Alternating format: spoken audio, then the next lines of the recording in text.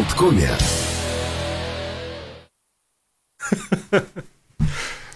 Доброе утро еще раз, уважаемые радиослушатели. Нам было не скучно и в перерыве. У нас поскольку... хорошее настроение, надеемся, что ну, мы тоже. хотя бы пытаемся хоть как-то вот настроение э, поддерживать, несмотря на пандемию. А, просто Абик за кадром вспомнил действительно одну старую политическую кампанию про «вместе у нас получится» и такое впечатление, да, друг другу помогаем. Вместе у нас получится создать хорошее настроение. Э, да, и э, я так понимаю, что резолюцию, которая вот э, собиралась принять, я надеюсь, в Совете в Организации Объединенных Наций резолюция, связанная с борьбой вот, э, с фейковыми новостями. Это такой бич, эпидемия. Я сейчас не хочу ни какие-то как, конкретные страны называть, может быть, не проводить какие-то там параллели, но вообще вот мы живем параллельно, вот, параллельно все время не только с вирусами, да, но и живем вот с этими фейковыми новостями, особенно социальные сети вот стали такой вот э, замечательной почвой для распространения такой лживой информации, если на русском языке э, говорить, и иногда вот э, авторы вот этих фальшивых новостей настолько уже научились все это красиво упаковывать и маскировать, что иногда э, нужно очень постараться, чтобы действительно э, понять, что это вообще ложь. Да?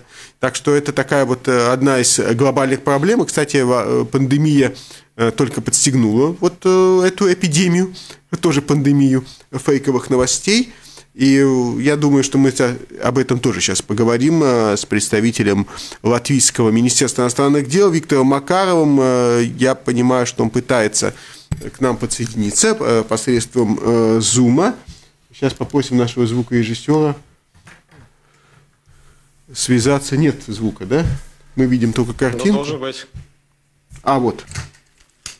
Должен быть звук. Да. да. Виктор, вы нас слышите, Картинка да? тоже.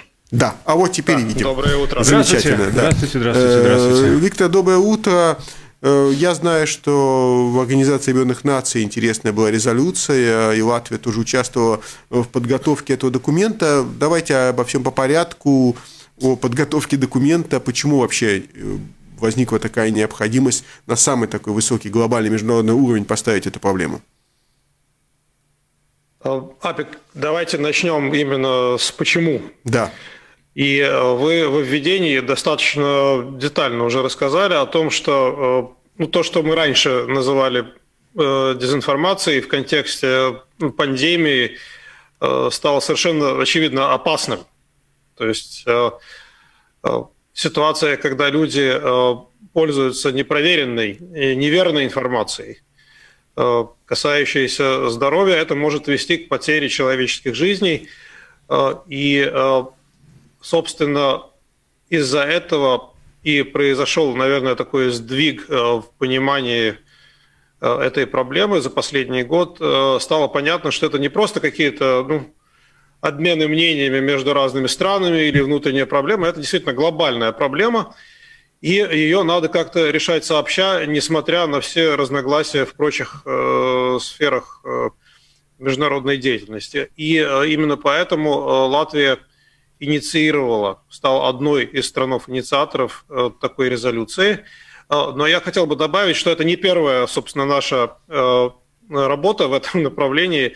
В прошлом году мы стали инициаторами ну, такого заявления о необходимости бороться с инфодемией, то есть дезинформацией в контексте пандемии COVID – и э, к этому заявлению присоединились 130 э, э, стран, членов ООН. Это больше двух третей. Это такое магическое число, которое означает, что заявление поддерживает очень большая группа стран. И следующий шаг – это уже вот эта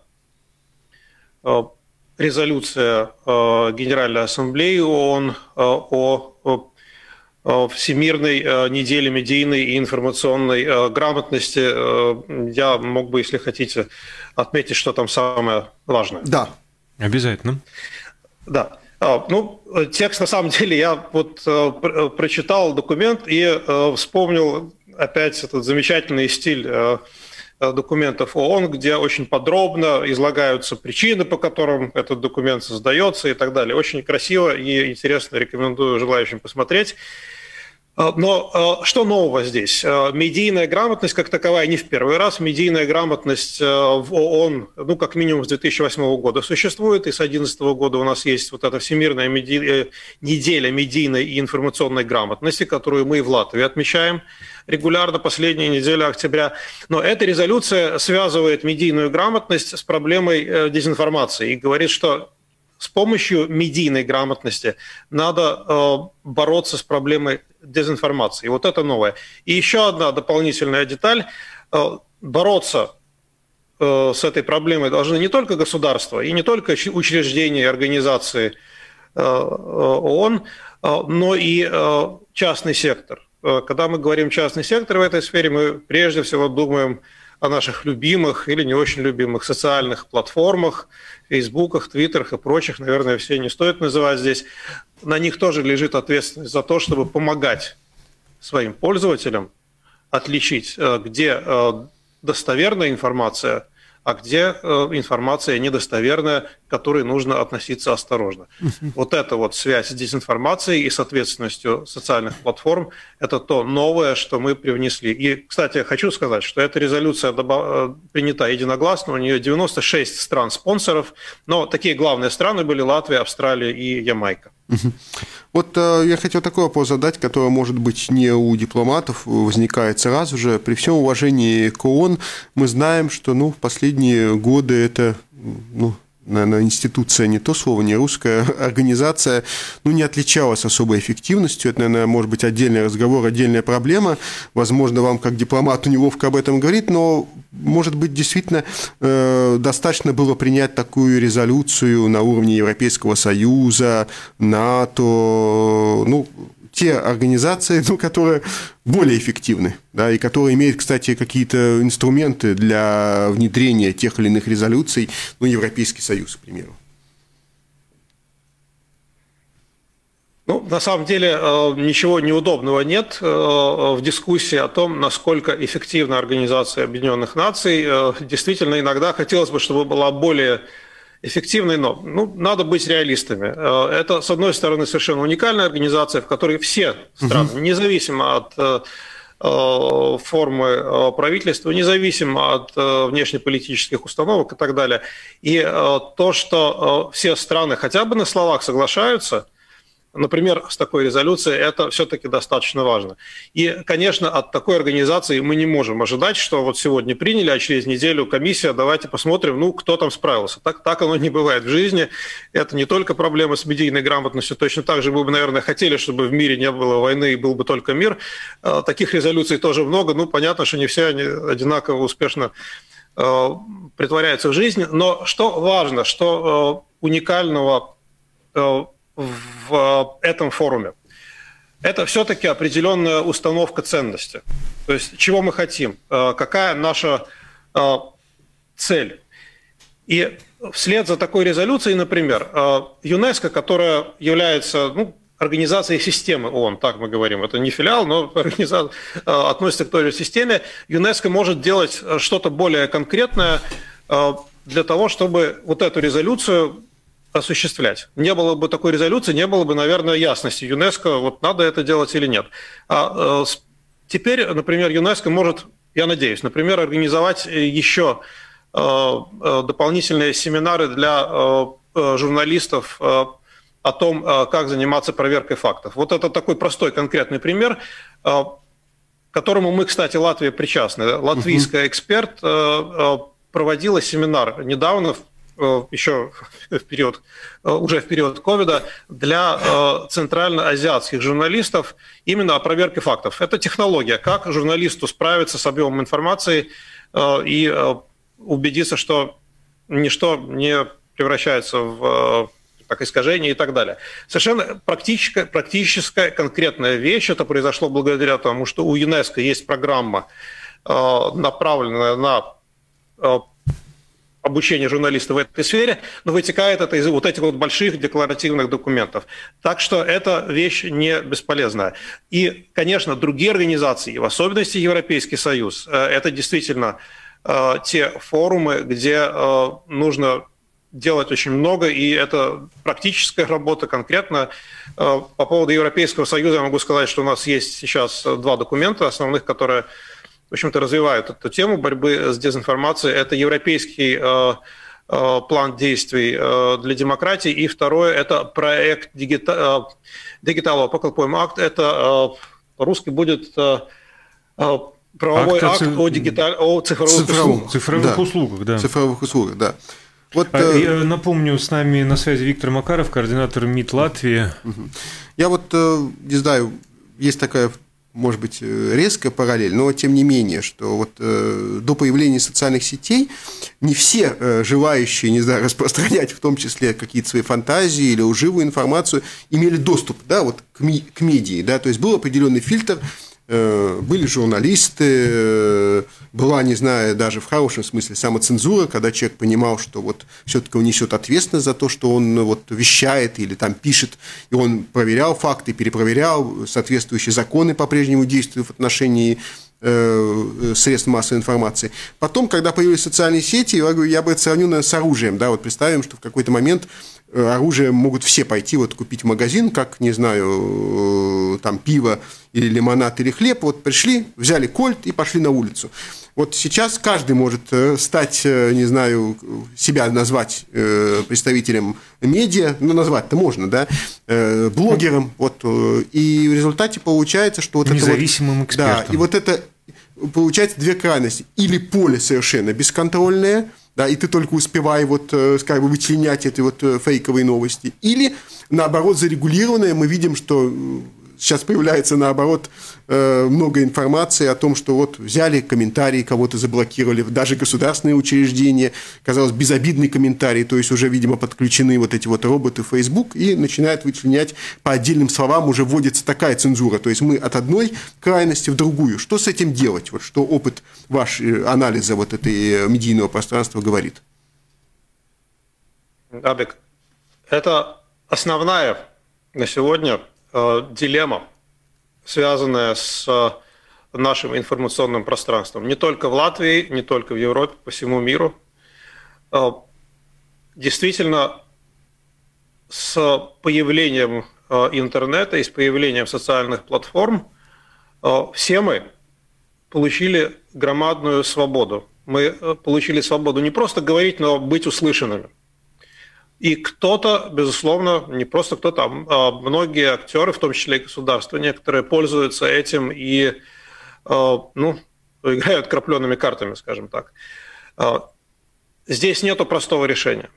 К сожалению, действительно есть две крайности. Одна – это вообще ничего не контролировать, и пусть все идет самоходом, но Такого тоже нету, да. Мы э, понимаем, э, и нет особых дискуссий, что есть виды э, речи, которые никогда в цивилизованном обществе не будут разрешенной. Мы не хотим видеть язык вражды, мы не хотим видеть использование детей и так далее, и так далее. Другая крайность, конечно, а давайте сейчас государство начнет регулировать, что можно, а что нельзя. Это мы тоже не хотим. Вот цензуру, вот ответственность мы хотим, а цензуру, наверное, не хотим. Э, по, по крайней мере, я точно категорически против этого.